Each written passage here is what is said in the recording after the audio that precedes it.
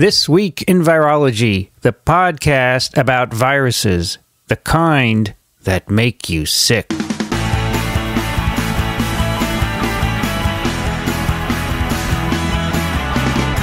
This Week in Virology, episode number 247, recorded on August 23rd, 2013. Hi, everybody. I'm Vincent Racaniello, and you are listening to TWIV, the podcast all about viruses. Joining me today from Western Massachusetts, Alan Dove. Good to be here. I don't see you today. You know, no, uh, you probably just have a generic uh, static picture of me, right? Yeah, it's the one with, Yep. in your room there, not like yeah, last I've got week. I've got you with a piercing gaze looking into the camera. Piercing, Yeah. as in someone with fangs. Right. Well, we'll do the video again sometime. That was fun. Yeah, that was that was fun. Also joining us from North Central Florida, Rich Condit. Howdy there, everybody. I see your smiling face up on my monitor. There I am, happy as a clam. Everything good down there and Everything is just dandy. Gainsburg? Uh, Gainesville, come on. I like Gainsburg better. Well, okay, so you can rename it, or you can take it up with the town council. Uh, I have to report to you that it is uh, 80 degree, 83 degrees Fahrenheit, 28 Celsius, under an angry sky and raining. Oh, you got rain down there. Huh? We do. We've had a lot of. This has been real Florida this summer. It's been great. Got a lot of rain. Well, here it's 28C, 36% humidity. Winds out of the north at 16 kilometers an hour. It's partly cloudy. We had a big rainstorm yesterday. Yeah, Well- pretty much the same weather here, but not quite as much rain yesterday. Also joining us from North Central, from Ann Arbor, Michigan, Kathy Spindler.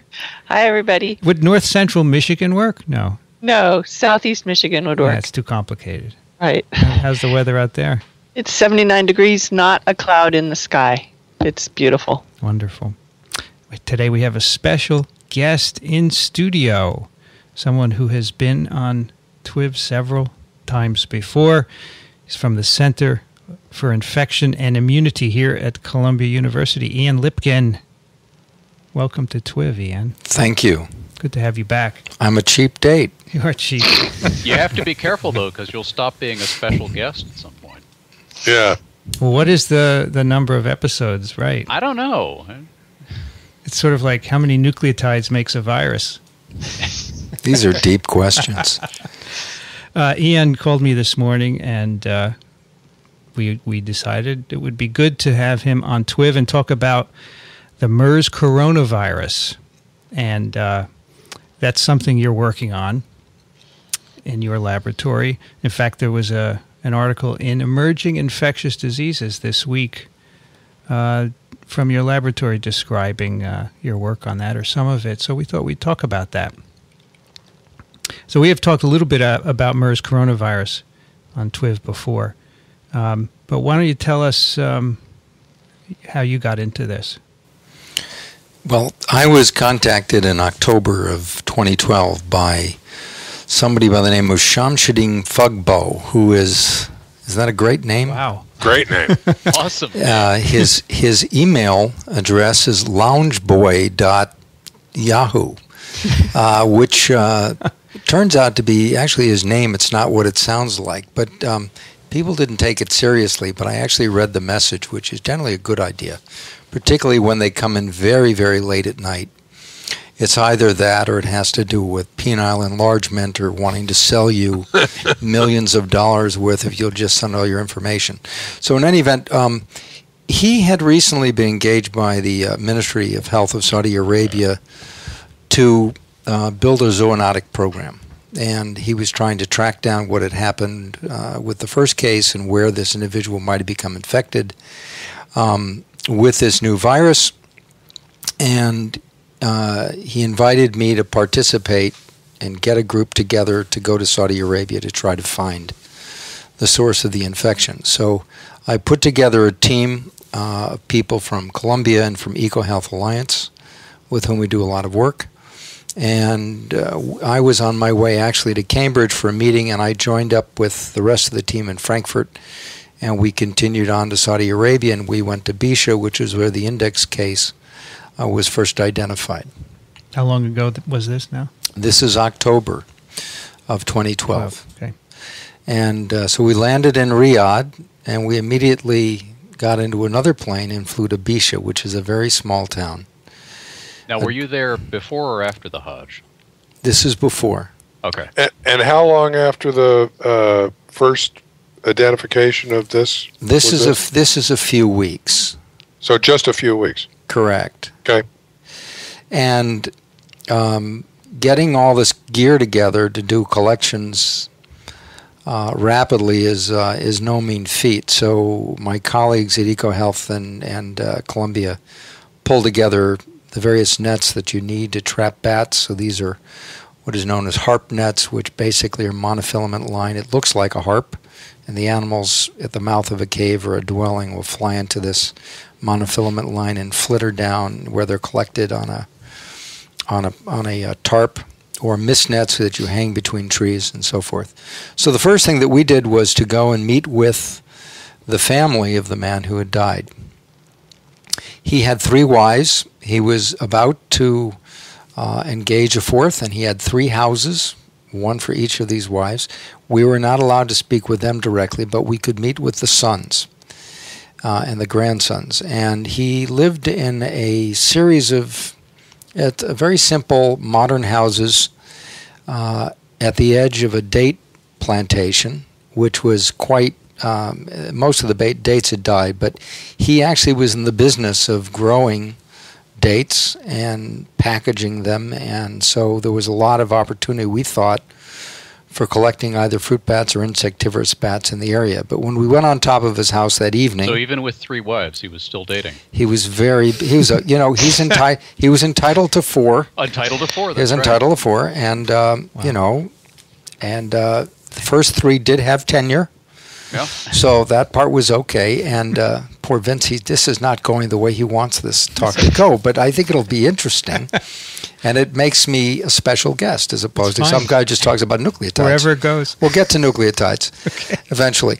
So uh, there are only 190 of them, so we have to stretch it out here, Vince. so the um, so uh, it was a very interesting evening that first evening because um, they wanted to uh, sacrifice a sheep. I wasn't really interested in eating the sheep, and all the sheep were looking at me warily as I was going because it looked like we had this big entourage. That's a problem. Sheep recognize that. And when I didn't want the sheep, they were going to sacrifice camel. In retrospect, that might have been more interesting. But I wasn't interested in either sheep or camel, so we ate dates and drank tea, and it was very nice. Uh, and then uh, we looked for bats. We really didn't see any bats. So the following day, we went to his warehouse, which was about uh, 10 kilometers away. This was an even more arid area, and it was a he had a large warehouse, and behind this warehouse, uh, there were uh, some very creaky iron doors and managed to open. And in the back, we saw um, outhouses and a garden, and came back that night when we suspected there would be bats, and there were plenty of bats. Uh, I would say well over a hundred, and they were flitting about within two to three meters of the of the ground surface. And then that was the basis for our initiating our collection of those sites. So, in that first trip, we collected at his warehouse. We collected um, in the town of Bisha itself and several old ruins, uh, and put all those materials together, fully anticipating that because we left a cold shipper with liquid nitrogen, that everything would be fine. Um, but uh, the first shipment arrived. Instead of using World Courier, which is my choice in that part of the world, they used FedEx, and FedEx opened up the lid of the dry shipper, and 72 hours later, when we received the samples, they were all thawed. Wow. So, and it was an enormous disappointment, as you might imagine. You So- didn't even bother with those, right? No, we did. We studied them. That's in fact where we found the fragment. Huh. So we, but the tubes had all been collected and labeled, you know, individual freezer tubes and so forth. And in these, you have rectal swabs, oral swabs, um, fecal pellets, serum, um, wing punches that were used for DNA analysis to identify the, the bat species, And those samples came back in October, and we began working them up. Now, at this point, we had no MERS constructs in the lab. We had no human samples in the lab. We had MERS sequences on the computer, but that was really it, and, and, and there was nothing else there. So um, Nishay Mishra, who's the fellow who was working these up, began extracting them.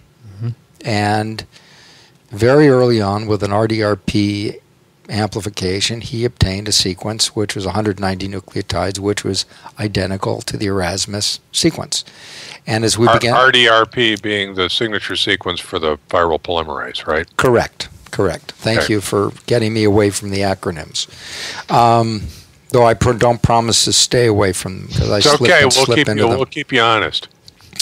So, um, and that's essentially where we were as we began looking at all these other samples. We never found it again. Did you go back and collect more? So that's later, but I'm just what I'm trying to say is we repeatedly found that sequence in association with that one bat sample, no other bat samples. Everything else was stone cold negative. And that was Uh, from a fecal. That was from a fecal. that was from a rectal swab. rectal swab, not a rectal pellet. swab. Okay. Correct. Rectal swab. So everything else was stone cold negative. Now, every single bat that we collected was identified because we don't just we don't kill bats. This is EcoHealth Alliance. They're very big on bat conservation. Mm-hmm. So they they capture the bats, they identify them morphologically, and then they take a wing punch, which is essentially atraumatic. The the scientist doesn't feel a thing, and then and that goes into another tube, and we send that to the American Museum of Natural History, where they do a cytochrome B oxidase PCR and identify the species. And for most of the bats that we identified, we were able to go back into the database and say, yes, it's this or that. Now, with this particular bat, there was no uh, sequence for a Tophosis perforatus, but there was another Tophosis species, and it was similar enough and distinct enough from the others that we presume that you know that there wasn't any mix-up in terms of the visual identification and what was determined genetically. And I ca you know I made a presentation in Cairo, and you know then I stand up and I say, look, I, look, I know I'm supposed to have 400 nucleotides, and I'm sorry, boys, and I can't grow it and what have you, but this is what we've got. And we've done all these other things, and I've spent my whole life debunking theories, whether it's born in chronic fatigue or MMR and autism or XMRV. So we're very sensitive to contamination. And so one of the things that was raised is says, how can you exclude the possibility that what might have happened is that the oligonucleotides that you receive from one of these synthesis, synthesis companies was somehow contaminated and that you introduced that? I said, well, if that were the case, then it should have contaminated all the other reactions because we did literally we did done ultimately we've done over 15,000 reactions and we don't see it with the other ones. So but I said I need to go back and that's what we're going to do. So we went back in April, sent another team. This time we went to two other locations. We collected more bats, and we have an enormous amount of coronavirus sequence, alphas and betas and so forth. But we never found that sequence again. And I mean, that's the long and the short of it. Now, the, the second time around, because I didn't want to spend, you know, six weeks in the field collecting bats and collecting them live and so forth, I focused, I had the group really focus on collecting fecal pellets. So now you have to understand this is Saudi Arabia, it's 120 degrees, and people are working in, you know, completely in, in containment. I mean, they're head to show, head to toe, booties to the top of their head, white protective gowns, wearing pappers, which are these BSL-3, you know, roving BSL-3 machines. But I do have somebody who's there all the time, who works for me now for 10 years, who's sitting there labeling tubes and making sure that the right bat sample goes into this tube that's labeled appropriately. Everything is barcoded and then it comes back. In those second set of samples, which we're going to write up because we're going to describe everything else we found in these animals, um, we never, we haven't found it again. Now, is T. perforatus migratory? Um, I don't know the answer to that, and I should. I'm sorry. No, it's because one obvious possibility there would be if it if if that bat was carrying the virus and then it moved on, um, maybe others like it did, and this um, But you caught you caught other T. perforatus in this. That's correct. We did catch. Well, we didn't catch many. We didn't catch many of those vir- though, many of those bats the first time around. I think it was three or something. So there weren't a large number of those. We d- we were we were expecting to see the virus in a Vesper species because there's a lot of very very good work that's been done. Um, by uh, Christian Drosten, uh, you know, and his group and others in so- in in Africa and in Europe, and we found uh, related viruses and Vesper species in South America and in Mexico. So that was our that was my leading hypothesis is that was going if there was going to be something positive, that's where we're going to find it. And there have been objections raised by some of my colleagues that you know the fact that we're not finding it in a Vesper bat is suspect. But you know the work that's been done by uh, you know looking at uh, receptor conservation for MERS coronavirus suggests that you find it in dogs and cats and pigs and horses and humans and and non-human primates as well as bats. So I I'm not surprised that it would grow in another bat.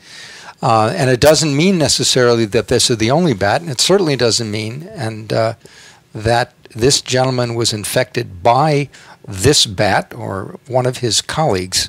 It simply means that the virus was clearly present in the environment close to where this man lived and worked. And how it got from some animal into him is a mystery that remain to be, remains to be determined. So you had serum from this bat, right? Yep. Did you check it for antibodies to the virus? Um, we didn't have any left. It was all extracted. Okay. You know, the thing is with microbats is you get 10 microliters of blood. That's why they're called microbats. You get 10 microliters of blood. So, because we don't kill these bats, we Right, release them.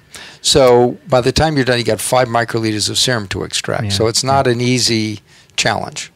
So Uh, my my question is, you've got um, a virus that ordinarily has on the order of a 30 kilobase genome, 30,000 base pairs, and you've got 190 nucleotides of sequence that is an exact match with uh, the virus in question. Uh, based on what we know about coronaviruses, uh, what uh, how how how good evidence is that that uh, that match really identifies this particular coronavirus, or could it be something else with the same bit of 190 nucleotide sequence but a different coronavirus?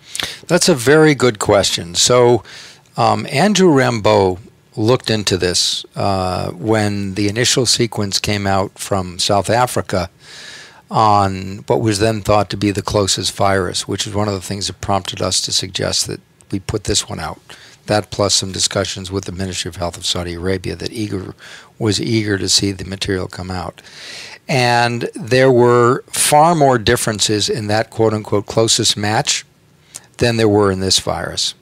Mm-hmm. So, and there were deletions as well. So, this really is this really is a perfect match. I, I cannot conceive of how you know how this could be contamination. I can never say 100% that it's not, but I just don't understand how it could have occurred. Could it be? Couldn't it be a recombinant virus that has, say, the polymerase that matches this, and it's not really MERS coronavirus? I guess that's possible. Um, there hasn't been any other example of an RDRP that looks like this, that's this close. I mean, the other thing is realize um, that, well, you probably haven't seen this yet, but in the next week or so, uh, collaboration between a UK group and Ministry of Health of Saudi Arabia is going to be released where they're looking at human sequences. And the the uh, the evidence is now suggesting that there are likely to be multiple int- introductions, and there's a great deal more sequence variation than we anticipated in humans who were you know who have had severe uh, MERS, and therefore um, the fact that this was identical to the EMC sequence, right? Not some of the other ones, but the EMC sequence suggests that there's a link. So you have a geographic link, you have a temporal link, you have identical sequence over this small area. Although, as I say, it, it I, again, it's 190 nucleotides, so I can't exclude the fact that something else might have happened. So the EMC virus came from this site. Is that correct? Yes, the EMC virus. So the initial case was this man in Bisha was 60 years of age. Okay. He became sick in Bisha, and his virus, his vi- well, uh, ultimately the culture was obtained in Jeddah by Zaki, Right. and that was then forwarded. I think it was four or six passages. I'm not recollecting that at present. That was sent to Ron Fouché, who sequenced it and reported that sequence, which incidentally is different than some other sequences that people now have. I'm not going to get in the middle of that. It's not my fight. But in any event, um, in this region that they report, this is identical. So it makes you know so it, you know it looks like a duck and smells like a duck and walks like a duck but it might not be a duck but you know Could it be that the bat ingested something that had virus in it and it's just passing through its GI tract? Because you have that's no certainly evidence. that's certainly possible all we have all we know is that there's a rectal swab Right. that contains a fragment of the RDRP of a virus that was identical to the one that was characterized and cloned from the E EMC So, virus. Ian, I have a question because um, the paper says that it was a fecal pellet from the bat that showed the 100% nucleotide identity. Well, if it's if it's a it, that, but it was nonetheless it was collected directly out of the anus of the animal. Sure, sure, Right, okay. Right. So then- what I'm trying to say is there's no question about which bat was associated with this. Right. And I just had a question. Um, by any chance, do these bats get banded or anything? No, they don't. They Okay. they're literally we they're they're captured. They're micro. You know, their their wings are punched. The samples are collected, and then they're freed. Yeah. Yeah, so you're thinking of getting it back again, right, Kathy? Well, I bet you wish now you could. Yeah, I wish a lot of things. You call it on Uh, the bad phone. You know. So uh, the reason the the reason you're here, and it, it actually brings up a good discussion. When do you have a when do- when do you have a virus sequence and, and a virus? Yesterday in the New York Times, an article was writ, was published uh, written by um, Don McNeil, and uh, the title is not bad. Mystery virus that's killed 47 is tied to bats in Saudi Arabia. But the first paragraph, health officials confirmed Wednesday that bats in Saudi Arabia were the source of the mysterious virus that has sickened 96 people in the Middle East. And I really took issue with that first sentence because, as we can tell from this discussion, we don't exactly know yet. So I wrote to Don, and he was very defensive about this, and and then I started emailing you. So I thought we could talk a bit about. I mean, this this sentence is clearly wrong because we're not sure that this 190 nucleotide sequence has done anything. Although there are good there's good evidence to suggest it, and in science, as you know, that's what we would say. The evidence suggests this. But Don McNeil wrote. It's it proves it, and he sticks by his story. In his latest email to me, he says, "I'm sticking by my story." So, I mean, you would agree, I'm sure, that we have not identified the source of MERS corona infections in people yet. Well, oh, yes, but that I think you know it's a question of how thin you want to slice the prosciutto, Vinny. okay, so you know I think we have been talking in the field, which is a very uh-huh. young field, about the origin of the MERS coronavirus, and there's been consensus, whatever value that has, that this came out of a bat. It didn't come out of a fish. It didn't come out of a, of a rodent. It came out of a bat. Ultimately, because we have this, we have this long phylogenetic tree where we can look at the evolution of these viruses. So we do think it came out of a bat. Okay. Now, I'm not saying, and I don't think that uh, the journalist says that this is the bat that infected the man, you know, that Mm. that resulted in disease. So, you know, if you take it to that, if you take it to that, you know, extent, then I would agree with you that that second that that sentence is inaccurate. But I don't think that that's necessarily what he meant. It certainly isn't what, what I meant, and it's not what we discussed. Now, there are many people who comment on this, including some of my colleagues who are not virologists, who might jump to certain conclusions and change this. And, and if you think McNeil's story uh, you know, is you know is suspect in this way. There are others that are more extreme. Sure, They're sure. more extreme, and there's a quote from someone in that article who talks about all the ways in which this bat could have infected this particular man. Mm-hmm. But you don't hear me saying anything of that sort uh, because all I'm saying is that we clearly, I think that this is sufficient for me to say that this particular virus is circulating in that environment. That's what I'm saying. I don't think he can necessarily, this is sufficient for me to say he probably contracted it in Bisha rather than contracting it in Kuwait or some other place, right? That's what I draw. So, uh, if uh, do I understand that you have sort of other lines of evidence, phylogenetic and et cetera, that lead you to suspect the bat as a source of this virus? Yeah, there are many related viruses that have been identified. We found some as far away as uh, Central and South America. Um, Drosten's group has reported viruses that look fairly similar to MERS coronavirus in uh, you know in the in uh, sub-Saharan Africa. There are even some viruses that look somewhat similar uh, in Hong Kong and in Europe. So you know, it's not as though this is. It's not like this is the sudden appearance of Borna disease, right, or something like that. This is this is a virus that's related to other viruses that we see in other parts of the world. Okay. Right. That's that's the evidence that I'm referring to. I can't tell you when it diverged or how it diverged or such like that. We don't have such such information. Is there any is there any information on how the bats pass it around, or do they pass it around?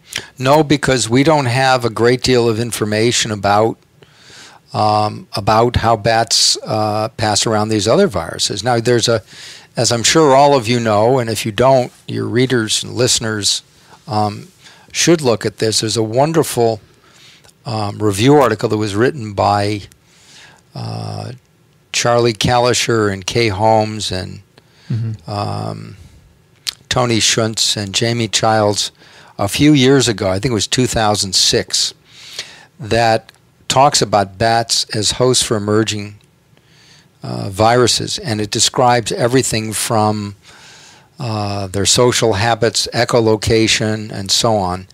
And I know that Science Magazine uh, is putting together something on bats that's going to be talking about why bats might or might not be reservoirs for viruses, and it's going to be expanding on work by Lin Fu Wang and others that examine things like, you know, their immunity and their, you know, their, you know, their oxidative potential and all these other things, which is very, very, you know, very, very elegant work. But we, so the answer is there are probably several things. One, they're probably they're, you know, they're they don't, you know, they simply don't kick out viruses the way other animals do. They have this echolocation, which results in these aerosols, and they live in these very tight, clustered environments where they readily exchange this kind of information by aerosol. So, but we don't know with respect to this particular virus what's what's key. So this uh, 190 nucleotides gives you impetus to keep looking, or are you done? No, I'm not. I'm not done. Um, we are. You know, the the challenge in working in that part of the world is that there are logistics involved with importing materials that are different than in other locations. Uh, so we are trying to move some of our lab analyses there, um, which has its own challenges. Um, we, to give you an example, um, the bats I think we now have under control. We can move those around fairly easily-. That's not a problem. But bringing in ungulate samples has been quite challenging. So we have a, a large project right now which follows on this very interesting report by Marion Koopman and her group that came out three weeks ago on the seropositivity in dromedaries, right? The one hump camels Right. and uh, that was you know it was 100% of this this herd. I mean that's a that's a very compelling statistic and and uh, and a potentially important one in think, thinking about links. Now, when we wanted to, we've been trying to get camel serum out of Saudi Arabia for eight months. Three weeks ago, to bring out samples from 14 camels, a dozen sheep, dozen goats. The samples flew into JFK, so that's in New York. They were met by a van from the Department of Homeland Security that drove the samples from JFK to Frederick, Maryland, where they went into the NBAC, which is the Department of Homeland Security facility. They were aliquoted by Jim Burns and his team. One sample then went back from each animal to uh, back to New York, to Greenpoint, Long Island, where they hopped on a ferry Right. to go to Plum Island, where they were tested for FMDV. They were cleared for FMDV, and at that point, the samples were released for PCR analysis uh, at NBAC and in New York, and for serology in New York. And it took all of that and intervention at the level of the national security staff to get through this thing of bringing in samples from ungulates in an FMDV endemic country. Now, so well, not just any FMDV endemic country, but Saudi Arabia, um, I don't know. I which don't I presume is the Homeland Security involvement, right? Well, I, from any FMDV endemic country, I think you would have the same bar. You'd still have to go through Plum Island. I mean, this is a Right, but not Frederick, probably. well. For the people in Fred, the reason Frederick became involved was because I was I was going to have to send these samples to Plum Island. excuse me, and if they didn't clear, they were going to be destroyed. Hmm. This way, if there was something wrong, I could at least get them back on a plane and fly them Right. someplace else. Okay. And Frederick is just a, a convenient or, or an appropriate BSL-4 facility, Yes. right? right. Yeah, that the idea was well, you know, the American Plant Health, uh, the uh, Animal Plant Health Inspection Service is part of the Department of Homeland Security now. So they have a facility on Plum, and they have one in Frederick, and they also have one uh, Okay. in uh, Manhattan, Kansas. So they have several sites, but this was this was it really was a way of getting around this whole thing. So you had to have AFIN's clearance, CDC clearance, and the A and and the reason I couldn't do it on Plum Island was because APHIS didn't want to have anything to do with a potential human pathogen, Right. and CDC didn't want to have anything to do with a potential animal pathogen. Uh, And well, the only Plum people- Island isn't really set up for human pathogens. Well, but you know, it's just PCR and serology, Sure. right? You know, so but, but all I'm trying to say is the only people who have to do all of it is the Department of Homeland Security and and uh, Columbia. So you know, we don't we're equal opportunity when it comes to pathogens. anyway, so um, so we're in the process of finishing that work now. It's proven to be very interesting, and I can't tell you anything about it, but it's going to be fun. What are you looking for? We're looking for nucleic acids as well as antibodies. And there will be many more such samples that are being collected. So, FAO and OIE are now involved, and there's going to be a trip in September into Saudi Arabia to do a large collection of mm-hmm. various animals. And I, I have to figure out how I'm going to go. My last trip to Saudi Arabia was during Ramadan, which I do not recommend. Mm-hmm. So if you find nucleic acids and antibodies to the virus in a single animal, that would be more compelling than the current data. Are you going to try and get infectious virus? Are you going to try and culture virus out? Yes, and and I, and nothing would please me more than to be able to get all of those things. But you you think it's not likely to happen? No, I don't think that's I don't think that's true at all. I think in fact we may, but I'm prepared to settle, you know, for you know for convincing, well-controlled evidence wherever I can get it, and you know. If something's passing through a community, maybe all I'm going to get is antibodies. But the problem with the problem with antibodies, and particularly when you're talking about camels, camels are very strange beasts immunologically. I don't know if you know anything about camels. I didn't know anything about this till this year's ASV meeting, and they really are weird. Yep. Single chain antibodies. Single chain antibodies. They're rocking. You know, they're they're great. They're great for uh, recombinant monoclonal antibody technology. It's a lot easier to put it together. But in any event, the point is, um, nobody really knows much about them. Um, you have to, you know, we have to determine what is baseline with these animals.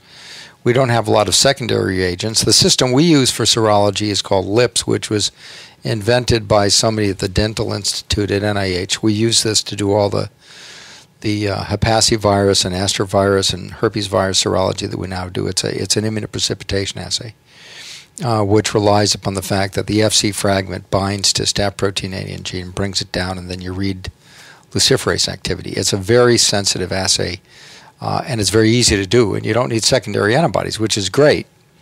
Uh, in that vantage point, but of course, then you need to do newts.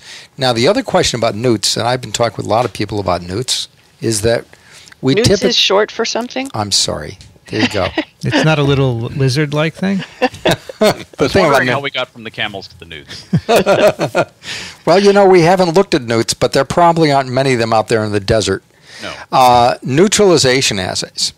So, you know, the Ah. assumption is that this is the gold standard, and if you've got neutralization, then by definition, you have a specific re- response. But that's not necessarily true. All that tells you is that the virus is unable to infect the cell. That's all it tells you. It doesn't tell you anything at all about specificity. So, um, you know, serology has lagged uh, behind molecular genetic approaches for characterization of infectious agents. There's nothing like rescuing a virus in cell culture, right? There's nothing like rescuing a virus in cell culture, and that is why you're still in business. Yes, that's right. Well, I called him earlier today. He said, I said, Are you in New York? He said, I'm in the hood. And I was assuming that he meant he's in the neighborhood. But he meant he was really in the hood passing cells. That's right. That's what we do. Um, I, I think that would be the ultimate solution to finding this virus other than in people, right? But I understand that you can't always do it. Serology can help. Getting more sequence from maybe the entire genome sequence from a single animal would be. I great. think that would be terrific. And that certainly was the objective. Yeah. And uh, so the, the plan right now, you know, across this community is to do exactly what you've said. Is to identify animals as well as people who have live virus, to cultivate that virus, to characterize that virus, and to develop all the tools that, that are needed to do epidemiology and pathogenesis. Though the pathogenesis is moving quite well in animal models. Right. Uh, so because we have virus from from, people, from right? people. So how how will getting the source help understand things better? Well, there's several possibilities. Of course, you can monitor Mm-hmm. risk in the environment. You have so many and so many animals are infected. It's no different than what we do with West Nile, right? Where we monitor infected mosquito pools, or we monitor birds, whatever. You have sentinel events, right, with other viruses, Yeah. and we would that would be the uh, the reason for doing that. Um, Well, and you may be able to intervene at a particular point in the viral life cycle to prevent human cases. Right, that that too. But but I but I want to stress that we're we're not recommending that people go out and slaughter camels or bats or any other animals. I mean that's not going to be helpful. Well, that could even be dangerous if the virus is in them. It could be, but you know, you remember what happened, you know, with the last outbreak of H5N1 in Right. in Cairo when people began slaughtering pigs. You know, sometimes these things, uh, you know, once they get into popular media, then there's a it can result in a you know in a turn that you didn't anticipate. so don't go slaughtering cannibals unless you have an important guest. but surely you would want to identify the virus in many uh, animals of different sorts out there, but not just one, right? Before you would Well, say I- this is this is the source. Oh well, well, I would like to identify it in the minimum number of species. If we find it in large numbers of animals, that would be of some concern. But yes, Sure. I mean, I don't, you know, I still think the jury's out with respect to the intermediate host, whatever that happens to be. Right. Could be a dog, could be a cat, could be a rodent. I have no idea. But you think the primary source is likely bats? I think the I think the original source is likely bats, whether it is a Vesper bat or as you know as a Defoe's bat, I don't know. But I do know, and I would you know I'll take this one to the bank, is that that virus was present in Bisha. And the origin of his infection, I don't know, but I know that it was present in Bisha. Right.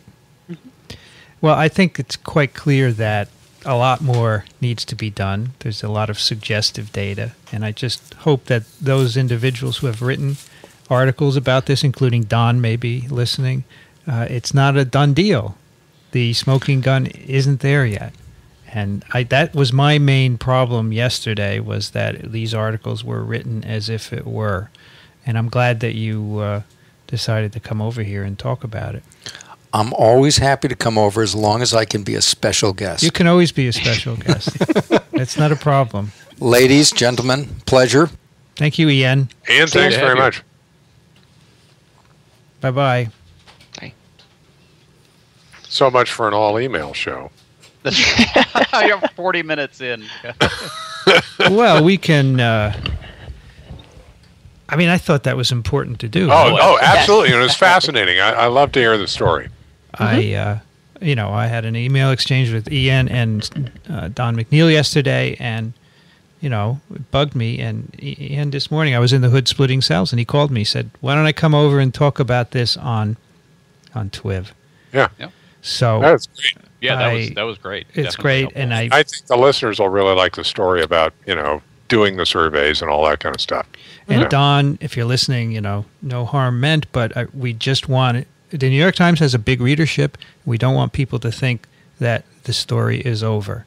And that's why I originally objected. You know, we're all about getting the science right here. To do science, to make conclusions, you have to have the evidence, and we're not there Yeah, and yet. I mean, I, I at least certainly understand the, some of the pressures that Don is facing. He's he's working for a daily, so his his deadlines are down to the minute, and he's got what seems like a story, and there's an enormous amount of pressure to um, to kind of round up certain facts that you know it ought to be like this. We're kind of we we're pretty sure that such and such is going on, and then you get a lead like that, which yeah, you know, the, the lead of that story was um, was wrong.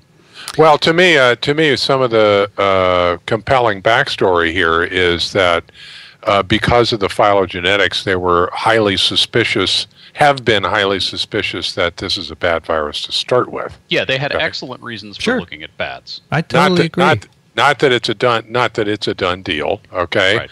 but it's not like this 190 nucleotides is the only piece of uh, of evidence. Uh, and this was news to me. Is that um, uh, they had uh, other uh, bits of evidence that led them to be suspicious of bats to start with. Yeah, right, I- but I- we're not we're not up to the point of being able to say that bats were the source of the virus that killed 47 people. No, Right. No, that's 'Cause they're- that's the problem, right? That's That's, the what I object to, and I'm Right. sorry that Scott that was Dan McNeil. You know, I had an email exchange with him, and he says I stick by my story. He, he said I think it's just two virologists arguing about terminology, but it's not, as you heard from from Ian. So I'm glad he was able to come here, and I hope hope Don listens to it and others who have written stories about this. Um, And uh, Kathy has found that uh, review article from. yes. Yeah, yeah. We uh, last time Ian was here, he talked about a big study they did in bats, and uh, we talked. Wow, about that's all the way back in 2006. That's the Stone Age. No, no, no. We Right. did. We did Right. uh, the no, article. no, no, yeah, no, yeah. I'm sorry, the article. Yeah, it is, but it's a good article. Yeah. I so my colleague Steve Goff was in here this morning talking about this, and he said, "I hope you get into this a little discussion about the pressures that both journalists and scientists are under to produce." And you Yeah. just touched on that, Alan. You know, they have to write an article quickly. They have to get the headline, and in fact, in an email, Ian had said, you know, Don didn't have much time to put this story together. Um, and scientists too are under pressure to discover stuff, right? I mean, here he is Yeah. schlepping a lot of people and money over to Saudi Arabia. He's under pressure to come up with something. And you heard him say, I wish I could give you 900 bases, but I only have 190. so um, I think that's part of it. It's unfortunate because you'd like to have all the ducks in a row, right, before you make conclusions. Right, but if you if you wait for all the ducks to be in a row or all the bats to be in a row before before filing the story, then everybody else will have filed stories that got more readership, and you'll be out of work. But couldn't he have said, you know, the evidence suggests that bats may be? I mean, why did he I have mean- to be so definitive? I don't When get you it. start watering things down, though, it makes for a less attractive lead. I was trying to come up with a better lead for this story, and and it starts to sound like less of a story. Well, if you just say bats in Saudi Arabia were likely the source, you know, would've that doesn't water it down Yes. much. Yeah, Yeah, I mean, the, this the sense is so definitive, and unfortunately, nature, too. You know, I just found an article looking through uh, Nature. They said deadly coronavirus found in bats. Come Yeah. on, Nature. bats have been pinpointed as a source of the coronavirus that has infected 94 people. Yada yada. It's pretty much the same lead as the as the Times. Yeah. I think it's a very interesting result. He's, but you heard him. He never found it again in any other bat, and maybe they never will. It could be something else. Who knows? I just think you need to be careful. Yeah. Sounds You like the do. cam. It sounds like the camel story might get interesting. Mm-hmm. Yes. So, yeah, I, I suspect they have stuff. You know, so we didn't actually cover the camel story, but we've been doing all kinds of other things lately. Maybe we should look at it next week, or maybe there'll be something new next week. to- Yeah, I to don't. do. Yeah, You know, at We some can wait for we the ought to do an all email episode. Do you think? just, uh, just an idea. it's only been forty-seven minutes. We could do some email. we could do some Okay. email. All right. we need to do some email. let's let's do some email. We have some follow up. Um, all right, so I, I just want, at the risk of having another discussion, I had a bunch of emails from Jane Flynn, Dan Skalka, and Lynn Enquist about expressing a protein. So I just thought I would read this, and uh, I understand that not everyone is in agreement with this, but Lynn wrote, and this this all came in uh, after we discussed it last week on our uh, live stream show. Uh, Lynn writes, genes in DNA or RNA can be expressed to make gene products, but proteins cannot be expressed because nothing reads the protein to produce another product. DNA makes RNA, makes protein, or RNA makes DNA, makes RNA, makes protein. Now, one should be able to express a protein because that means it is being made by translation, but one cannot say proteins are expressed. And then Jane wrote, genes are expressed, they carry information, and mRNAs could be, but why not say what really happens? mRNAs are translated, but proteins are not. They are made, produced, etc. They are information, if you like. This jargon, like so much other, has gained widespread use as people use phrases they have encountered in papers they have read and do not think about what they are actually saying. So I must I must say that Jane, uh, you know, we have worked with Jane for many years, and she is very persuasive in these small rooms in which we uh, write our chapters. and so over and over, you know, and if you write it wrong, uh, she she makes a, a comment. So I understand that uh, not everyone agrees with this, but that's that's how we use it. And as I said last time, we just want to be consistent in our usage. In a textbook, I think that's important to say something and, and have it mean the same thing throughout the book. And that's what we agreed on based on Jane's suggestions. Sure, So- sure. And and I would just like to say that language evolves, and she even admits it that Sure. this has gained widespread use.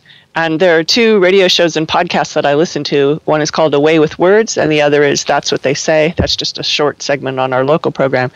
But the hosts of both of those shows frequently talk about how language evolves and how sometimes we might not like it, but it's it's they don't quite say it's a living thing, but uh, when something gains a lot of use, it it then becomes the new norm. Sure. So and and to say, you know, my main objection is how do you say that in a concise way you want to talk about we're going to look at to me I can only say expression of proteins on the cell surface.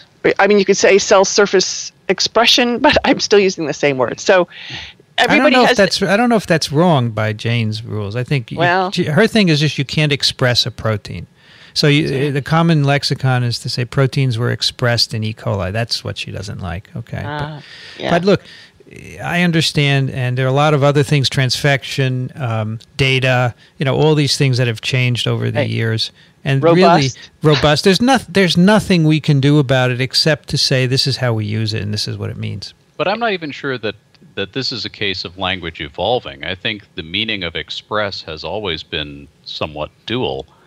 Um, in medicine, you can express pus from a lesion. Now, did you express the lesion or express the pus? Well, you did both. I think you ought to talk So- with Jane, okay? Because I she's think maybe I should. she's way better at defending this than I am. Okay, but I understand, but I can't defend it because it, it's it's her origin, and we follow it, beca- Sure. and we agree to follow it because it makes some sense. But I can't defend every And, instance. and I would certainly agree that in a textbook you do want a consistent standard, and consistent may be more important than than this debate about what the language means in the broader literature. right, right. and you may, and you may have a little more space. You don't necessarily have to be so concise. You're not writing a paper with page limits or a grant with page limits or something like that. You can yeah. expand. It's funny. I got an email from someone who said, "Could you publish a list of the words that we're not supposed to use?" That's funny. Electrophoresed. Uh, Yeah, you, you shouldn't say that, right? Proteins were electrophoresed. Uh, proteins were centrifuged, or viruses were centrifuged. I'm not sure that's good. Either. Anyway, we could make a list. But I Kind don't of like George. Car- Carlin's list. What's his list? All right. Oh yeah, right. oh, he right, has a list of the words you can't say on television. It's I, I can't repeat it, but you can. Yeah. All right, Alan, can you take the next one, which is from Sure. Kim? Kim writes, Hi, I just wanted to let you know that I managed to catch the live hangout on YouTube for about 40 minutes. I was really surprised when I got home from the lab to see a live TWIV. The time when it was live was also perfect for me as a European listener, about 6 p.m. in Sweden. Uh, do make it a habit. Uh, I would also like to add that I wrote in and got my letter read on TWIV 183. There I was asking for help deciding if I should continue with a Master in Biomedicine or Master in Infection Biology. Um, and those are the, I guess, those are the um, uh, Swedish terms for them. Uh, to this, Alan answered that I think you're underestimating microbiology, which I then realized I was. I've now gotten accepted and will be starting my master's in infection biology at Uppsala University in a few weeks. Thanks, Alan. Well, you're quite welcome, Kim. I'm glad uh, glad that was helpful. So uh, we did it at 11 a.m. Ah. 6 p.m. That's Yeah, that's Yes. why. Yeah. So I don't know. I maybe we should think about it because the Europeans could listen in. I really enjoyed doing the hangout. I thought it was great. Yeah. I Um, think it was cool. Yeah. Uh, Kathy, can you do the next one, please? Sure. Robin writes membrane proteins. membrane proteins are deployed to membranes. Deployment implies a purpose. While the purpose may not be obvious or easily discernible, it is not an unreasonable assumption that every protein has or once had a purpose. Serving in the Army adds to one's vocabulary, both printable and unprintable. That was one of the words we used for instead of expression, right? Right, or he's suggesting it. I can't remember. I, I can't remember if we used it. And then, so he kind of comments on a bunch of things from last week's show. The hullabaloo about publication of the HeLa genome is a reflection of an unstable phase in societal transition. The hierarchical structure that constitutes society makes every component, including the organisms that constitute that society, increasingly dependent on every other part of that society. This dependence includes ceding control to the societal structures. Domesticated animals and humans are no longer capable of faring as well in the wild as their feral forebears. The dependence is reflected in the shrinking of brain size in all domesticated species. Even human brain size has shrunk by about the volume of a tennis ball for the average adult male from that of our ancestors of 20,000 years ago. Even mitochondria ceded part of their genome to the nucleus. Concerns about the ability to buy insurance with one's genome laid bare arise because there are not yet in place the alternate societal structures that can provide the needed support and care. Such mechanisms will carry concomitant constraints on human behavior. Already, anyone who has recently served in the armed forces has their DNA in the military databank to permit identification of otherwise unknown remains. It is also perfectly legal to acquire a sample of someone's DNA from saliva on a soda straw, as in the Stephanie Lazarus case, or from clothing, even from someone else's blue dress, and sequence it. A day can perhaps be imagined when cord blood will be routinely sequenced and deep frozen, both to guide future medical care and provide a reservoir of autologous stem cells. The information could also be used in employment medical examinations to identify persons at undue risk from certain occupational exposures. If such a day arises, ar- arrives, the issues raised with the publication of the HeLa genome could seem quixotic. A fourth domain, and now we're talking about the uh, domains of living organisms. A fourth domain may explain why the viruses with large genomes have such large genomes. If organisms from those domains parasitized more familiar cells, they could have ceded only the limited number of functions that they held in common.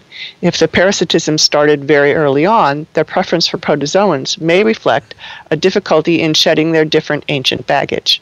Could it shed some light on the radiations from our last common ancestor?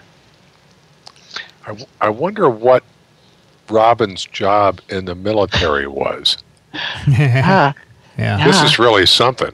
I, Yeah, I believe he's- he Yeah. was, uh, you know, so he is a retired ER physician, I believe. Ah, May have done some medical Might have been a medic. Yeah. Yeah.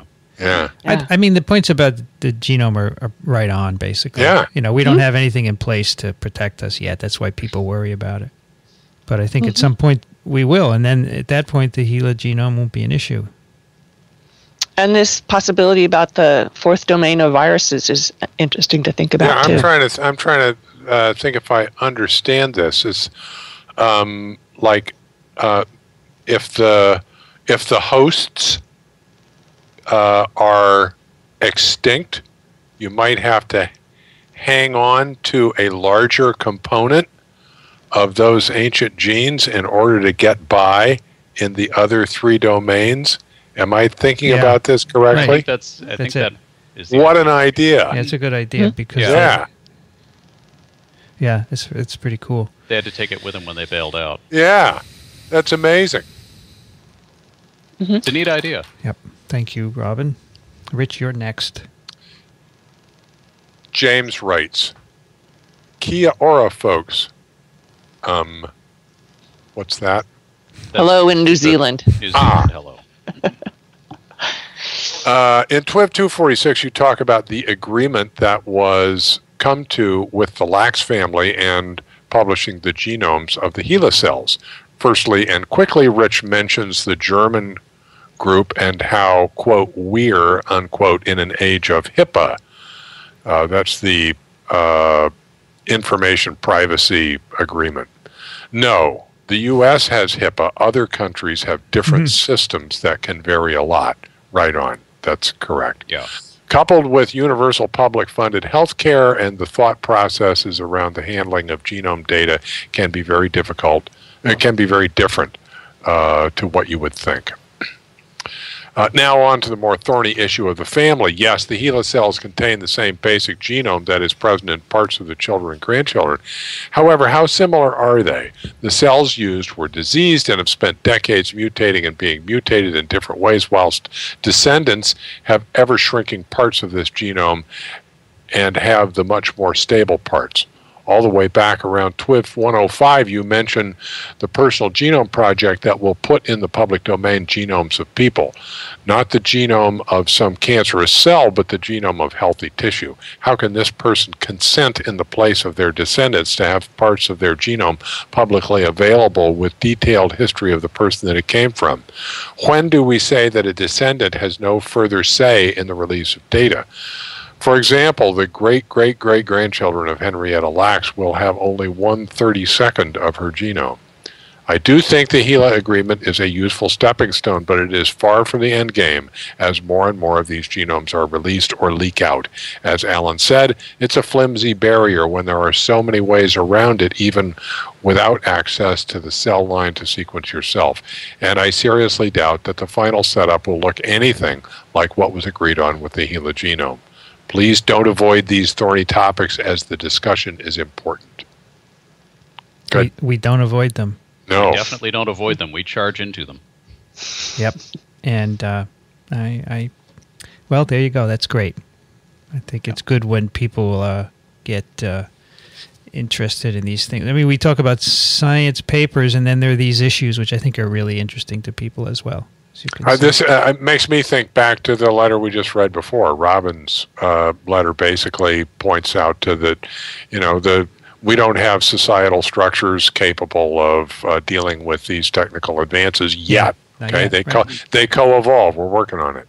Well, you know, in, in 1950, we had nothing to deal with getting Yeah. samples from people. Right. And now we do. And, you know, in retrospect, then you have issues. So uh, the next one, the last follow up is from David, who writes uh, about TWIV 246, which was our last episode. In week two of the Coursera class I'm currently taking, we learned that a cell is either susceptible, permissive, or both. We learned that a susceptible cell is a cell that has a receptor for a virus, while a permissive cell has the components to support viral replication. Enter this plant virus you speak about in this episode, which doesn't require a surface receptor. Does this now mean that all plant cells are susceptible?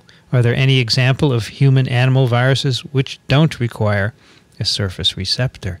To me, this seems like a fundamental distinction, a principle of virology. what a absolutely right. You know, we were Yes. talking about principles in that in, in two episodes ago, right? And we don't mm-hmm. have many plant viruses because we think we got all the principles. But he's right. This is true. Uh, plant viruses, the viruses, uh, don't need receptors to get in. They're delivered typically by insects or, or nematodes or fungi. So what do you say? There's no susceptibility with plant viruses. It doesn't make any sense, right? Right. They operate on a fundamentally different principle. Yeah. So I, I emailed this to my colleagues in the book. I said we have to point this out. This is really good. Uh, this is good. We got uh, TWIV listeners impacting your book. It's great. Yeah. It's great. It's the way it ought to be. Okay, let's go into our regular email, and many of which are ages old. Uh, Alan, you are up next. Okay, and we'll get through a little bit of it on the here at the end of the episode. Oh, we're going for another four hours. oh, right, right. Oh, You cool. I, Oh, you guys can leave. I'll just do them until there's nobody but me. All right, go ahead, Alan. I'm sorry. All right, Steve writes Hello, in order of, of first TWIV appearance, Vincent, Dixon, Alan, Rich, and Kathy. I plan on going through each TWIV podcast, starting from the beginning with TWIV 1 West Nile virus. In addition to learning, I'll be listening for a type of statement. If there is anything you'd like me to capture from the podcast while doing this review, just let me know. I Wonder what type of statement. Yeah, I don't know what, what that means, right? Okay.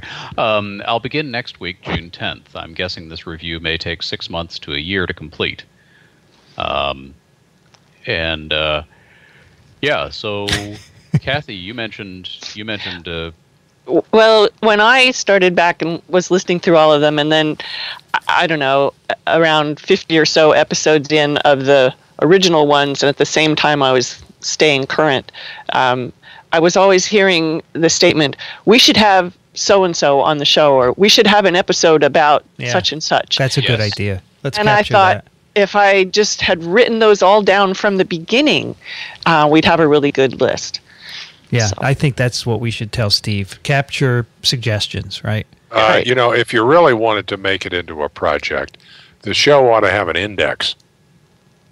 Okay, An online It- index. wonderful. something like that, because we people come up and say, "Have you discussed this before? Have you discussed that before?" And we have ways of scrolling back through the episodes and finding them, but you can't necessarily tell what the content is from the titles. Okay, um, So I have for each episode, uh, Rich, I have uh, keywords. So I guess I could take all those keywords and make an index out of them, right? uh, you could, yeah, that would Yeah, do it. searching searching the twiv.tv site is pretty good. Um, Yeah, that should search the keywords basically. But Okay. often you come up with so many hits that yeah. you would like to have an index where you click on HIV and you get a list of all the episodes where we've where it talked was a about major that. topic. Major yeah, but. That, that would be a that would be a big undertaking. Yeah, I can't do that. That would be a big undertaking. Yeah, Steve, if you couldn't. really feel like an additional project, a That's a comprehensive index of TWIV would be wonderful. Uh, But- but it sh- short of that, I think this. I think Kathy's idea here is is really really good. That we do frequently say we should do a show about that. We should have so and so on, and and yeah, we've got this. We've got a Google Doc that we put. I, I occasionally throw some ideas into, but it doesn't capture anywhere near all of that. yeah. Mm-hmm. Yeah, the other problem with building an index is that you'd have to keep it current, and that you know, so it's a, It's a lot of work. Yeah. It would Yeah. be nice if it could be automatically generated, right? But I listened to an NPR story the other day on trying to, uh, you know, index uh, video or audio documents, and uh, you know, it's a this is a technological challenge. I'm Yeah. sure I'm sure Google, Google. I'm sure Google is working They're on working it. on Yeah. it. Kathy, you're a next. The NSA Okay. is probably working on it too. Yeah. Sorry, go ahead. Eric writes, Hello, TWIV doctors. I've just recently graduated from University of Connecticut with a degree in pathobiology and a minor in molecular and cell biology. I am passionately interested in viruses and how they interact with the immune system. I have a fair amount of research experience from a viral immunology lab that I worked in last summer at UMass Medical School, as well as some experience in a lab at University of Connecticut. I applied to about six PhD programs in microbiology immunology departments at universities across the country, but unfortunately wasn't accepted into any of them. Now I am looking for a research job that I can work at for a couple years, then I'd like to reapply to PhD programs. So far, I've looked into biotech companies, research hospitals, and even university research jobs in the Boston area. I must have sent out at least 20 or 25 applications, and so far, all I've met with is crickets chirping. I'm running out of ideas for places to apply to. I'm wondering if the TWIV crew or any even any of the listeners have advice on a different kinds of institutions that I might be able to look into for research jobs besides hospitals and biotech companies. B, what I might be able to do to make myself a more attractive candidate for these jobs. Or C, know of any virology immunology researchers in or near Massachusetts that might be looking for research assistance. I understand that this that this soon after my graduation I can't be picky about jobs.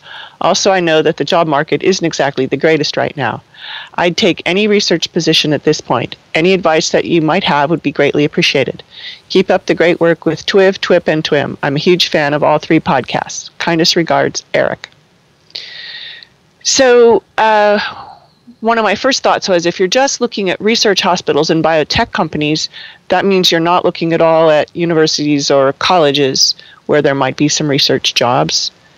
Um, if there's any way that you can make personal connection, either from the people that you worked with at University of Connecticut or at UMass, and if they know of somebody or or something that and they might know more about you and might be able to s- suggest if there's something um, to if as you say make yourself a more attractive candidate um, and one other thought i have is that uh, ASV sponsors a virology job site. And while I suspect it's primarily aimed at maybe postdocs and uh, faculty types of jobs, there might be something there that could give you a hint of where you might look. I think for uh, if if you really want to look for jobs in the in in research, uh, I would certainly be looking at universities. If you want to look in the Boston area, all the universities there will have job sites that you can look at uh, that'll tell you whether there are any uh, research assistant jobs available. And if you strike out there, um, my first inclination is always volunteer. And I would even be a little bit devious about this. I would suggest uh, looking at the different institutions uh, where and and looking at the different departments, finding out what labs and research are going on that you might be interested in. Then cross-reference that with the NIH reporter database and find out who has money. And now with a uh, small pool of with a pool of laboratories that fit both those criteria, go and see if they need somebody to wash dishes the, for free. Okay, and then make yourself absolutely indispensable by volunteering. And I can't tell you how many people I've had who've come through my lab wanting to uh, uh, to to volunteer, and some of them. Uh, the key here is you have to make yourself indispensable. You have to be uh, uh, somebody who sees stuff that needs to be done and does it and does it right. Okay, not somebody who comes and hangs around and messes things up. And and the you know I've seen both kinds, and the ones the ones that come around and mess things up and complain and and don't show up on time, they outnumber the ones who are really good. And the ones that are really good, if you if you uh, can make that kind of impression, nobody's going to let you go. They're going to find a way to keep you around. And of course, since we've read your email on TWIV, if anyone in Massachusetts is looking for someone, uh, let us know. We'll put you in touch with Eric. And I would just add, um, I mean, you he mentions sending out applications. um, applications require some follow up. Usually, it's worth calling a couple of weeks later. Eh, you know, just ostensibly to ask if they got the application, but really to remind them who you are, um, and and just kind of get in get in the door a little bit that way. And as Kathy said, if you can make any kind of personal connection with any of these places that you're applying to, that will definitely help too. Um, I mean, a lot's going to depend on what your uh, what the fundamentals are of your application, and but I, I it, it seems like even in this uh, sequestered budget era, people must be hiring technicians, and there's a certain amount of turnover among technicians because they go off to graduate school or medical school or what have you. Um, there, there ought to be something out there for you. Oh, there are. I mean, after and, all, and Rich's Rich's suggestion of volunteering is excellent if you can afford it. After all, the NIH budget is thirty billion, so someone's getting money. The money's and going somewhere. Someone's going somewhere. I get lots of emails from people who are looking for tech jobs. And it's just one or two sentences. Hey, you know, I'm looking for a job in the New York City area. I just graduated. Got anything? And I pass them on to my colleagues, and that's also worth doing as well. Yeah. All right, Rich, you are up next. Isabel writes, Dear TWIV team, I've been a happy listener of your podcast since I discovered a link to TWIV on Viral Zone, which is now run by my former former colleague Philip Lemessier. I worked for seven years at SwissProt. I am currently with the Seattle Structural Genomics Center for Infectious Disease and gives a link to that organization. I heard that you are visiting Seattle in June. Sorry, that already happened. And wondered whether you would have time to meet and allow one of our PIs to advise uh, to advertise our services to the virology community? Well, no, but it's now going to happen in the letter. Our primary mission is to determine the structure of 75 to 100 protein targets from NIAID category A through C agents. Those are really pathogenic dudes uh, as well as emerging and reemerging infectious disease organisms each year for a period of five years. In order to do this, we seek the active engagement of the scientific community in nominating targets of interest for entry into our pipeline. This can be easily done from our website and involves no expense on the part of the requester. We also provide materials, clones, and proteins to the scientific community free of charge. About half of our current targets have been either submitted directly by the community, classified as community request targets by NIAID, or adopted by collaborators' community interest. NIAID is keen to have the community lead publications that describe or use our structures. This uh, is an example of a publication with a community collaborator and uh, gives a reference. Best regards, Isabel. Hey, do hmm. you think they, they express or synthesize the proteins? Ah, they synthesize them for sure. You know what? Uh, I could send these guys a couple of things. I mean, I don't know that uh, I don't think Vaccinia is A through E, but Variola is, and it's close enough in the proteins that I want, uh, so that I could, yeah, yeah. I got some ideas. Nominate your favorite proteins. I mean, I got there's uh, a couple of structures I'd really like to know. And if these guys want to do it for me, that's cool. Yeah. Well, I figured everybody'd like to hear about this, so mm-hmm. there you go. Uh, Mike writes, Hello from sunny Florida. Every week I enjoy the content, presentation, and repartee on TWIV. Today in my RSS feeds, Next Big Future points to an article Synthetic Biology Could Speed Flu Vaccine Production on MIT's Technology Review site, and he provides a link to that. Would it be accurate to say that the steps involved in the process are gathering sequences from a virus strain causing an outbreak and using those sequences as a basis for chemically recreating, synthesizing the virus? If this description is inaccurate or grossly oversimplified, feel free to have a laugh at my ignorance. That no longer bothers me so long as I hear an accurate but still simplified explanation.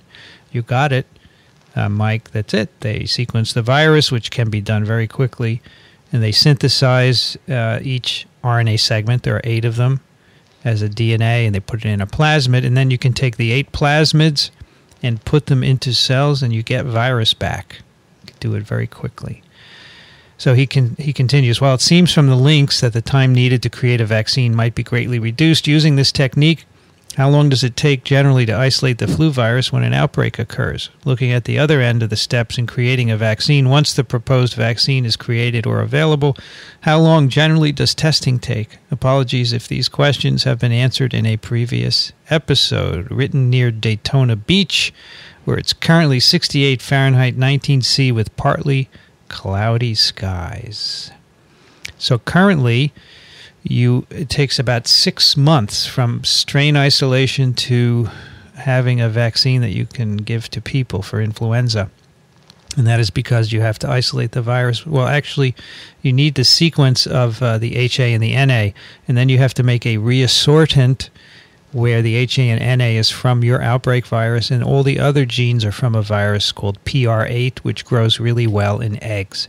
And then, if it's similar to um, a virus vaccine that's already been in people. You do a very limited clinical trial, and so in six months you can be out there. But for the 2009 H1N1, the six months was too long, and the first wave of uh, the pandemic couldn't be stopped. So this will be quicker, much quicker, um, perhaps a month or so. Well, and because they say just to um, Starting at 8 a.m. on Monday, the team began to chemically synthesize a viral genome based on sequence data. By noon the following Friday, the team had confirmed that it had live virus growing in cell culture. Infectious virus. yeah. It can be that quick. So, Mike, you're right on. Mm-hmm. You're learning from TWIV. Alan, you are next. Uh, Hi Tao writes Dear Vincent, just finished listening to the new episode of TWIV. Not much comment on the um, H7N9, but you mentioned that you need a line of HeLa cells, which is uh, a line of HeLa cells which is sticky to the culture dish and makes a flat monolayer. We have some HeLa cells in culture, and they attach the dish tightly. The cells grow really fast. Once they reach confluence, the cells kind of become plump and round, but they still attach well. Attached, please find the pictures of our HeLa cells. If it's the type of cells you're looking for, I'll be more than happy to send it to you. Um, P.S. In this episode, Rich called TWIV the weather in virology. In my last email, actually the only one to TWIV, I called it today's weather in virology. So you may consider to use that as a subtitle of TWIV. It's great. I love it. It's very good. Tao is a professor at Drexel in Philadelphia and works on Hep B was very excited when the Hep B receptor was identified earlier, and we talked about it. So what you need are HeLa cells that are AC/DC that'll go from cell culture to spinner and back and forth. And I had them. Right. I had taken them with me Right. from the Baltimore lab and used them for 30 years and lost them last year. Because there are people who more. I've been trying to I, to locate them, so we, there are people who carry HeLa cells in uh, monolayer culture and they behave like that, and others who carry them in uh, spinner cell culture. But going back and forth is somewhat rarer. I'm going through people who have had the, the Baltimore cells and checking them one by one. Um, um, um, who just did that, Alan? I just did that. yeah. Kathy, you are next. Jerry writes, Hey Doc, I'm a licensed research applicator and I enjoy listening to your podcasts. My current job is bedbug identification, prevention, and control. I have witnessed an, a population explosion over the last four years in Los Angeles. Due to the population density of our urban environment, modern construction, hollow walls and carpet, and global travel, these creatures have been able to spread and establish themselves rapidly. I've been doing some reading on the potential of C. lectularius as a disease vector and come up with mixed information. According to what I've read, bedbugs could potentially transmit flavivirus and possibly lentivirus, but this has not been proven in studies as of yet. In addition, I know that the kissing bug, Reduvidae, can transmit Chagas disease. I would like to know what you guys think the potential threats are with bedbugs. I often see in heavy infestations blood spots from smashed adult bugs as well as droppings. I would like to know, yeah, I would like to know what the possible threats are from bed bugs feeding, as well as the diseases or parasites that could be picked up from smashed Simex. And lastly, if the fecal droppings could carry Chagas or some other infectious agents. I know this is a touchy subject because bed bugs are common and people may panic. I have to calm people all the time who think rats have hantavirus. But I would like to know the truth about this. Is there a possibility that virus can pass to human from bed bugs? Uh, and then he has an, a PS, which maybe we'll read in a minute. But uh, just when I read this, we, we had it queued up for a previous TWIV. Uh, a paper came out in PLOS Pathogens, uh, uh, Pearls. These are mini reviews. And the title is Bed Bugs and Infectious Disease A Case for the Arboviruses. And the authors say that most of the pathogens, most of the viral pathogens that have been looked for in bed bugs, are not ordinarily transmitted by arthropods. But if you were to look at arthropod transmitted viruses in bedbugs, uh, it might be more fruitful. So I think there's not a lot out there yet, but uh, maybe stay tuned for that. I think the article said that maybe, right? Basically, The article said Yeah. maybe said we ought to we ought to have a look, and it all actually uh, reviews uh, pretty nicely uh, what's known about uh, bed bugs as uh, vectors for viruses. So it's a good. and- it would be a good place to start. And it's actually quite bizarre that bed bugs are not known to vector any disease. Mm-hmm. Because this is a species that it's a blood sucking insect. It feeds on different individual humans. I, I can't think of another potential vector like that that's not an actual vector. I mean, there clearly are viruses in them, right? It's whether they're transmitted to people or not. Right. it- and there are clearly viruses in many of the people who they're biting. yeah. and there are, and there are going to be other diseases in the people they're biting they're biting and, and just the idea that these insects can't transmit anything uh, it's possible but it's weird Hey, Rich, I see you handled this article. I did. Was Uh, that like Jo- submitted, uh, or did you solicit it? uh, jo- Joe Heitman solicited, it, I think, and Cool. then it got passed to me. I think it's yeah. I, I, I saw it, Kathy, when I was looking, and I went to put it in the show notes, and I saw that you had done it. It's amazing. it's so timely for my for not Mike. Yeah. What's his name? Yes. Jerry. Jerry. Gary. All right. Uh, I, I just have to add that we have uh, a guy here at the University of Florida who trains dogs to sniff out bed bugs. And this, it's amazing. I've seen a demonstration for this. They're used to look for bed bug uh, contamination. It doesn't even have to be infest, infestation in various places. Just a few bed bugs, and these dogs go bonkers. So you so these go into hotels and yeah, go look for into them. take these dogs into a hotel. If there's bed bugs, they'll find them. It's amazing. Wow. Cool. Yeah. And I meant to mention that the article is in PLOS Pathogens, so Jerry and everyone will have access to it because it's an open access journal. Yes. So, and then he writes, P.S. I have another request that is important to me. I had a friend, Tom, and he and I would debate the validity of the existence of HIV. Tom had it, but believed that since the virus was never isolated by the standards set out by the Pasteur Institute using a sucrose gradient and such, that HIV was not really proven, and he claimed that much of the illness was iatrogenic. I disagreed based on demonstrative evidence, although I must admit some of his sophistical arguments appeared to have merit. Some of the virologists whose works he embraced included Papadopoulos of the Perth, Australia group. He would state that the genetic sequences were from endogenous retroviruses. GP120 and 41 were not specific to HIV. The leukemic cell line used for HIV diagnosis was in and of itself somehow flawed. That protease inhibitors were nonspecific to HIV and they somehow help people by preventing bacteria and parasites from proliferating, and that explained the efficacy of this class of drug. I know this is ancient history. And my friend embraced his belief and bet his life on it. He did not treat for HIV, believing it unproven, and he was not a complete fool in doing so. He had what seemed to be strong support of his idea. He is no longer with us now. I believe he held on to his belief until the end. Tom and I spent many days in 1997 98 in a lively debate and learned a great deal about virology, thanks to a wonderful comprehensive virology book courtesy of Glaxo and a myriad of other related subjects. Do you have any opinion on these matters? It was this experience that drew me to TWIV at all. It often reminds me of our debates. I know it would be a great podcast, and it is. I knew it would be a great co- podcast, and it is. Kudos. Thank you. Pardon the unpolished nature of the email. It's 2 a.m. I think he, he was a fool for not treating. Well, uh, he if he you know he's no no longer with us. Uh, t- case closed. But all of these things, I mean, you know, we could do a whole show on this. I get lots of emails from other Yeah. people about the idea that HIV does not cause AIDS, and there's so much data which in, in- clearly shows that it does. So The I- case is absolutely overwhelming. We even have, tragically, um, fulfilled Koch's postulates. There, there are right. laboratory infections that have occurred with isolated, purified virus, and those people developed infection with HIV. Yeah. yeah. so Now, those people generally went on to get treated with protease inhibitors and what have you. So, you know, they didn't uh, they didn't develop full blown AIDS. But this this is a lock. I mean, there are diseases where you can debate causality, but this isn't one of them. the sequences are not from endogenous viruses. The glycoproteins uh, are in fact found in other lentiviruses, but they're different.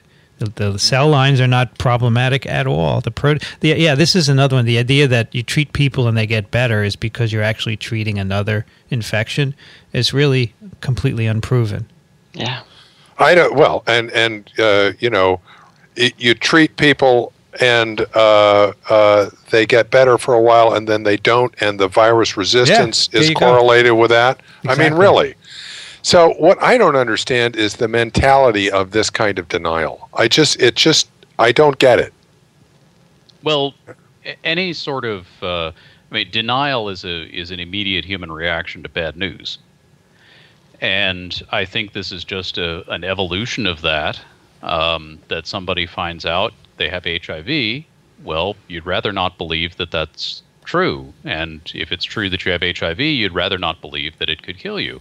Yeah, I guess. Um, On the other hand, there are people who will try anything. So, Yeah.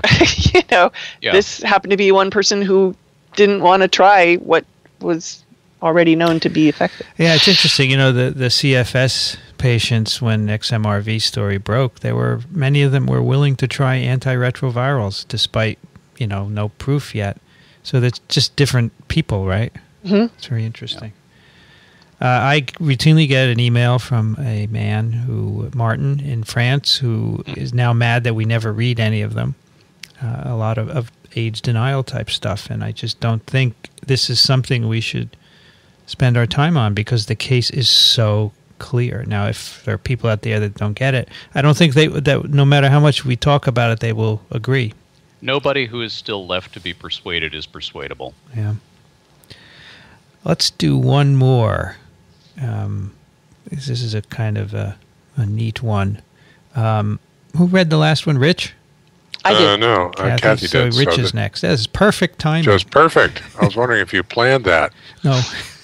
Joan writes, I love TWIM and will be using it in my course on microbiology for high school teachers. But as regards humans, empirical observation, and Jenner slash smallpox, please check the article at Wellcome Trust. Uh, and she gives a link to a, an article called Who Got Credit for the First Vaccination, Justy or Jenner? And then we filled in a whole bunch of other uh, links here uh, because that one was broken. But at any rate, we found it, and and this this refers to um, the fact that there was, and I don't nobody disputes this. Uh, there was a guy named Benjamin Justy who 20 years uh, before Jenner, and now we're talking Jenner's. Jenner's observations were published in 1796, and this uh, work of Justy's, I think, was done in 1774. Uh, uh, Justy uh, apparently, um, that uh, this is well documented as far as I can tell. Justy um, uh, vaccinated, that is, used um, material from cows who had cowpox to inoculate uh, his wife and his uh, children and uh, to prevent them from getting smallpox. And um, so there, when 20, and, but he never published. Okay. And when 20 years later, uh, Jenner uh, did a thorough analysis of the relationships between cowpox infection and resistance to smallpox, and then did uh, a controlled experiment that was an infection and a challenge. And later, actually, uh, his one of his relatives did a controlled, ex- a better controlled experiment where there was an infection with cowpox and then a challenge with smallpox, including a control where they took the same variolation material and inoculated another person, and they got a the typical variolation response. Um, he then published uh, that stuff, and it, when he did that, a bunch of people said, "Wait a minute, wait a minute, wait a minute. We've known this. Benjamin Justy did this 20 years ago." That's all true, but Jenner was the guy who uh, really um, did the controlled experiments, uh, did the appropriate uh, research uh, to uh, uh, um, verify that cowpox conferred immunity to smallpox, and, and and published it, made it public. So.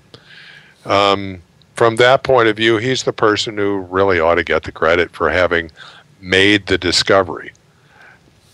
Yeah, but he didn't.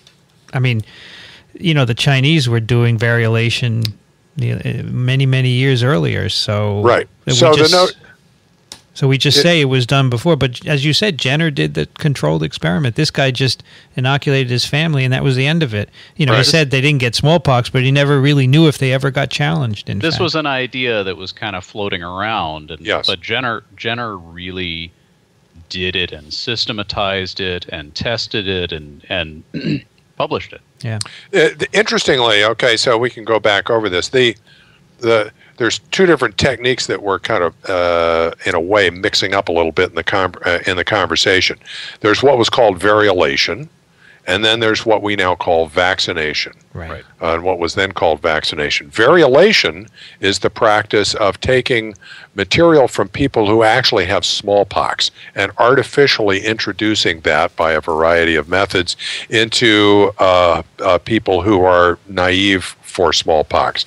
Um, most notably, the practice that was imported into Britain from uh, the Middle East in the early 18th century uh, was a practice where the smallpox material was uh, inoculated by scratching, scarification into a person's arm. Uh, and the you got a, a really vigorous uh, reaction from that. A large area of infection with a lot of uh, pustules and a significant discomfort from that, and you were contagious for live smallpox to somebody else.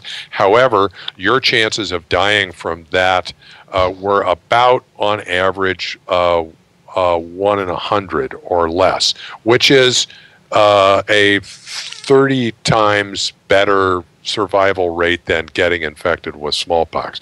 So it was a very risky procedure, but it was better. But importantly, it sets out all of the principles. Okay? It sets out the idea that you can artificially infect somebody. It sets out the idea that once you've been infected, you're immune. It sets out the techniques of scarification and etc. The innovation that Jesty and Jenner uh, introduced was using a related virus cowpox, which doesn't cause as much pathology, uh, to induce the same response. And this derives from the observation initially that people who naturally got cowpox were in fact resistant not only to smallpox, but from the practice of variolation. And both Jesty, uh, it was, as Alan says, pretty common knowledge, and uh, Jesty just capitalized on it and did it, but he didn't really follow it up, do it in a big way, do the controlled study. And uh, 20 years later, uh, Jenner really did it in a scientific fashion and followed it all up and, and published it. Yeah, so this wasn't just a case of, well, Jesty's a farmer and therefore wasn't accorded credibility, whereas Jenner is a doctor and is accorded credibility.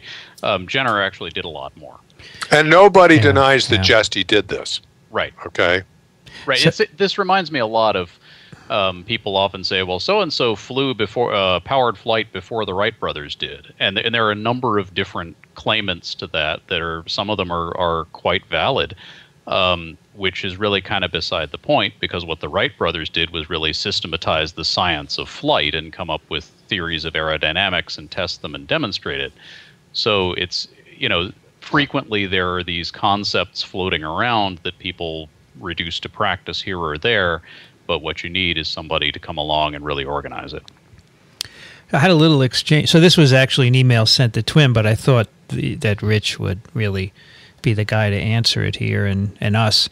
Uh, I had a little exchange with Joan, um, and she wrote, uh, the Jesty story of vaccination ties in with the current citizen scientist movement and illustrates how social class affected scientific standing.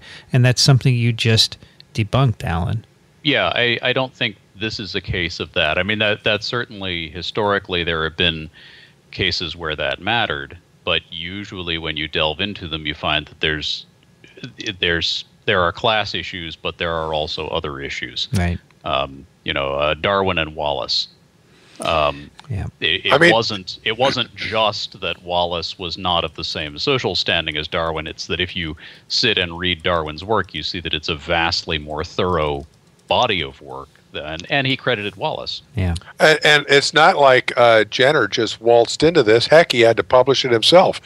Yeah. He uh, he privately published it. Nobody wanted to publish it for him, and he was uh, he got a fair amount of flack for it uh, initially, oh, yeah. at least from from some corners, because people you know didn't want to believe it or or were resistant to it from the beginning. But uh, in the end, it caught on big time. Well, I'm afraid we have to move on to our picks, and I cannot tell you how many emails we didn't get to. Thirty. God. 30. 30. Plus the other 100. We're in our queue, right. Oh, man. what are we what are we going to do? I don't know. Next week we could do an email. But right. what, what if papers on, on MERS and bats come out this week? You know? well, I won't be here, and so I won't be taking up all the airtime next week. So maybe you can get more done. no, that doesn't make any sense at all. You, That's not going to shorten it. That doesn't help it. Oh, you're not here. That's right. You're somewhere cool, right? Brazil. Going to, going to Brazil. Yeah. For like two months. No, I'm going for a meeting and a seminar and some vacation. So about so you're going to be here for oh, just two weeks. Okay, it's two weeks in Brazil, and then we have ICAAC. So uh, yeah, I think we should think about doing email next week. Actually, it's just me and uh, and Rich next week because Alan's right? away, right? Uh, yeah, I don't think I'm going to be able to do this next week. So can you and I do uh, email, Rich? Sure. Yeah, why not? All right, let's do some picks of the week, and let's start with Kathy. Well, I picked uh, a comic by Frazz. It was one of the Sunday comics.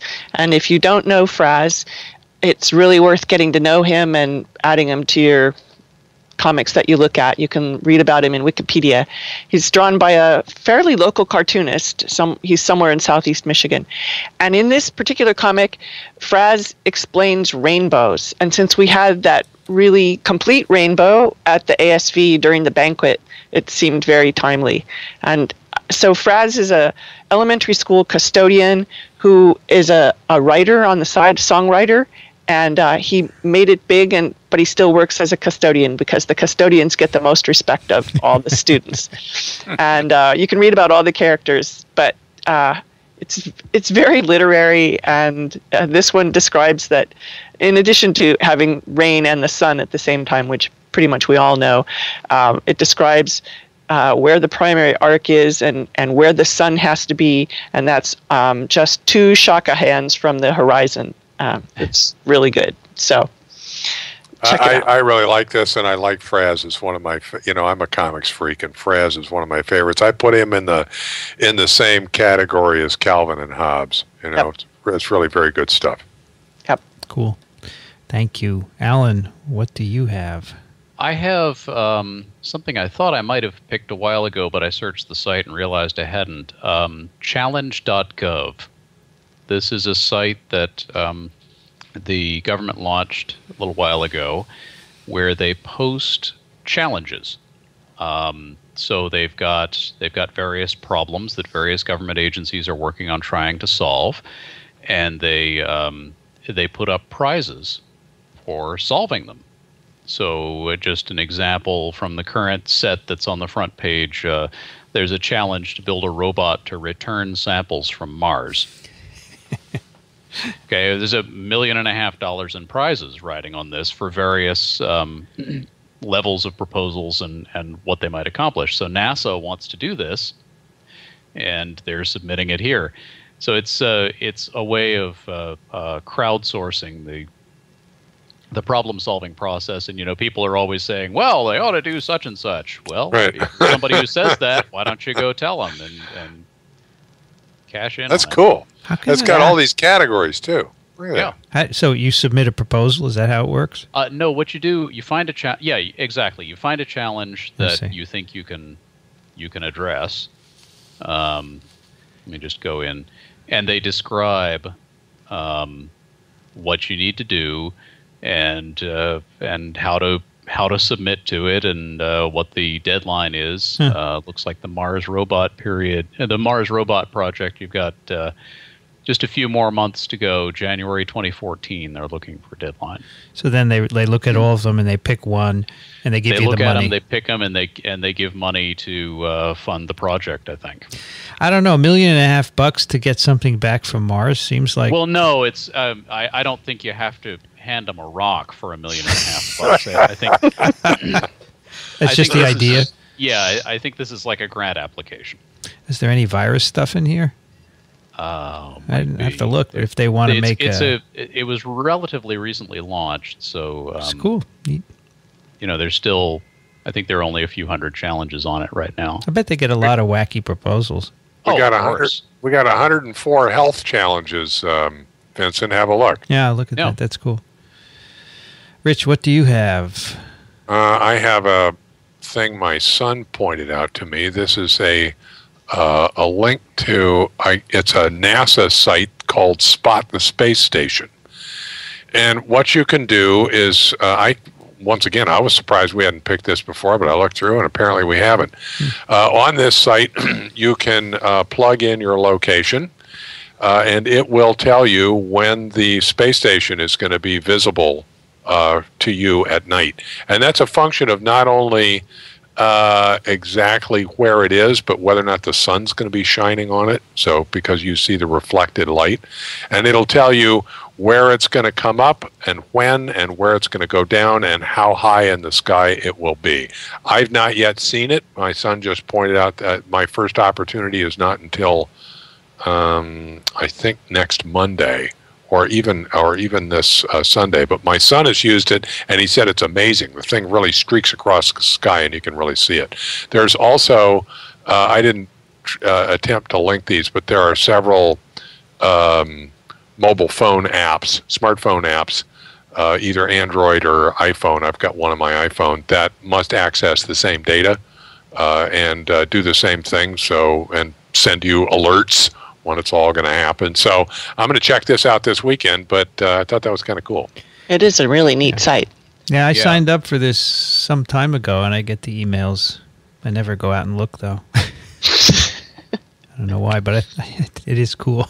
I'd like to see it sometime. Well, it's going to be Monday. I think it's this Monday. It's going to be 71 degrees up for me, so I'll have to make the effort and go out and see it. Yeah. Well, and for me, now that I know that uh, 42 degrees is two shaka hands, I, I'm looking for the ones that are about that. So, nice. Well, I thought I would pick 23andMe based on our discussion last week. Uh, this is basically a site where you send them your saliva and uh, they extract DNA from it and do a screen of known polymorphisms, that is, nucleotide differences in the human genome that are associated with traits and ancestry and specific diseases. And um, it costs 99 bucks for the first member of your family and $80 for everyone else. And I had everyone in my family do that. I I originally did it for one of my sons because he's had some medical problems and I wanted to see if this would by any chance shed any light on it, but it did not. And then I figured, let me do everyone else. What I find really cool about this um, is the ancestry. So um, I I opened up all my results to anyone on 23andMe who wants to see them, in uh, consistent with what I said last week about my genome sequence. And um, th- then these people who you can identify other people who are second and third and fourth and fifth cousins, right, related to you. And this one guy who was a second cousin emailed me, and I hooked up with him, and he lives in the UK and he was his mother was born in the town in Italy where my father was born, and hmm. probably is related to me because this is a town in the middle of nowhere, with you know a, f- a thousand or two thousand people in it, and I just was blown away. wow. And this was identified by by you know polymorphisms that are known to be in certain populations. It is so cool. So you know, it tells me I'm 95 percent Italian, which is not surprising because my my ancestry is pure Italian. But a lot of cool stuff, and there are lots of other cousins on there that I could hook up with. Now, so the the disease polymorphisms didn't tell me anything, but the ancestry is cool. It tells you what percent Neanderthal DNA you have. So I have 2% Neanderthal DNA, which may explain some things. Um, and they can trace population migrations based on So, certain so did they actually sequence you, or is this just no, a it's just polymorphisms. polymorphism? Yeah, so it's basically a um a chip assay where they hybridize your they amplify certain regions of your DNA and hybridize it to a chip, and you can tell very quickly if you have the polymorphism or not. So they don't actually sequence your DNA; it's just a So, a chip th- and this study. is ni- 99 bucks. yeah. All And right. they they actually have um, they have a gu- it used to be like four hundred, and they got a grant um, to to cut the price down because clearly the power here is to have a lot of people and and their histories. They ask you lots of questions, and I just think it's really cool to know this stuff. And I could actually download all the data and put it on my website, which is something that I'd be happy to do, but nobody cares. So anyway, it's a really cool place, and if you the cool part is if you have a family and you want to see the uh, ancestry, uh, it's cool to do that. So um, I really like it. This is uh, 23andMe, which is actually found one of the co-founder, the people who founded it are out of Stanford University. One of whom is, uh, I believe, the spouse of one of the Google founders. So thinking about information all the time, I guess it's pretty cool. We um, the next email on our queue was actually a listener pick. So that's from Frank, who writes Hello, Twiv. Thanks to all of you at Twiv and keep up the good work.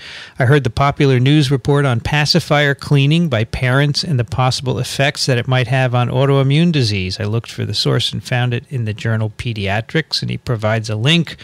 Thought it would make a good listener's pick. I'm also interested in the panel's take on this article. So, this is an article that came out too long ago not too long ago pacifier cleaning practices and risk of allergy development. So they basically did a study of 184 infants and they they looked at whether the parents cleaned their pacifiers or by sucking on it and whether that correlated to having asthma or not or eczema and other kinds of allergy diseases. So basically parents sucking on kids pacifiers makes it less likely that they were going to have asthma, Well, according to this yeah. study. There's a correlation, There's a, there's a correlation in this cohort. right? Um, Which, of course, yeah, I mean, there are other things that could have confounded this, obviously, but Yeah. you know, it's a small study and so forth. But you know, the implication or the suggestion is that the microbiome that you acquire from your parents sucking on your pacifier may impact your asthma. So clearly, this is a very preliminary study. I mean, their conclusion is parental sucking of the infant's pacifier may reduce the risk of allergy development. But I mean, I think it's tantalizing, but clearly, a lot more work needs to be done. I was uh, fascinated to discover that parents think they're cleaning their kid's pacifier by sucking on it. Really, I know. Wow. I never sucked on any of my kids' Really pacifiers. That's just pretty un- interesting to me. Anyway, it's a cool, it's kind of an interesting article, so check it out. And thanks for that, Frank.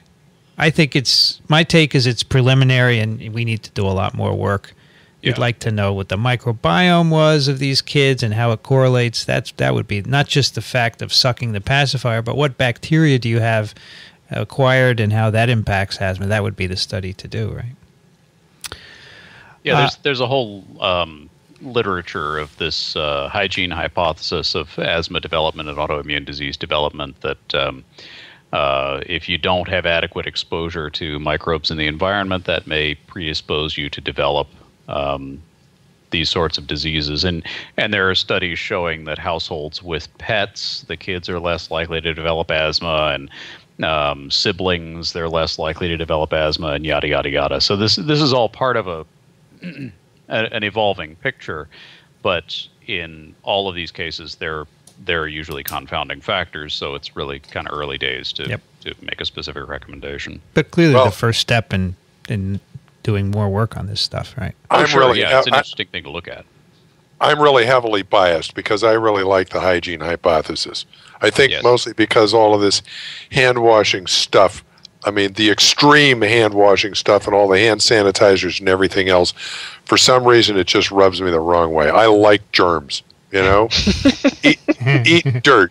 I think it's wonderful. Yeah. My mom always said you eat a bushel of dirt before you die, so don't worry about washing that off.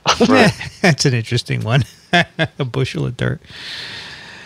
Twiv is found at iTunes and twiv.tv. And we do appreciate if you go over to iTunes and leave a comment or a rating to keep us more visible there in the crowded Apple iTunes directory. Subscription Apple recently announced, by the way, that subscriptions to podcasts on iTunes reached the 1 billion mark. Total subscriptions. So we're part of that and uh, we need your help to sort it out. Do send us your questions and comments to twiv at twiv.tv. And I want to alert everyone to the fact that there is a upcoming American Society for Microbiology meeting in Denver. It's called ICAAC. It is, uh, and we will be doing a TWIM and TWIV uh, from there. You can find details at microbeworld.org slash ASM live, one word. Kathy Spindler is at the University of Michigan. Thank you for joining us today, Kathy. Thank you. This was fun. I hope you have a very nice trip to Brazil. I do too. I'm looking forward to it. Say You're going to be in Rio? No, that's one place I'm not going to be. But Hmm. I'm going to be in Sao Paulo, Porto Seguro, Foz, and uh, Bonito in the Pantanal, and Ribeirão Preto. Great. Wow. Sounds I hear that the meeting that you're going to is in a very interesting place this year. Mhm. It's physically very beautiful, so enjoy that. Say hello to Yoriko for me. Of course, I will. Rich Condit is at the University of Florida, Gainesville. Thank you, Rich. Sure enough, great fun. Have the heavens opened up? Uh, matter of fact, I've been watching a flood while this is going on, but um, it, that ha- that has since receded. It was it's all been very interesting. Wow. There's Wow. a creek. There's a creek uh, pretty just going up the hill from me, and when it really rains heavily, that floods, and it was it was pretty amazing. Did you uh, build a Condit dam? no, no, You remember that, right? yeah, sure. Alan Dove is at turbidplaque.com. You can also find him on Twitter. Thank you, Alan. Always a pleasure. And I'm Vincent Racaniello. You can find me at virology.ws. You've been listening to This Week in Virology. Thanks for joining us. We'll be back next week. Another TWIV is viral.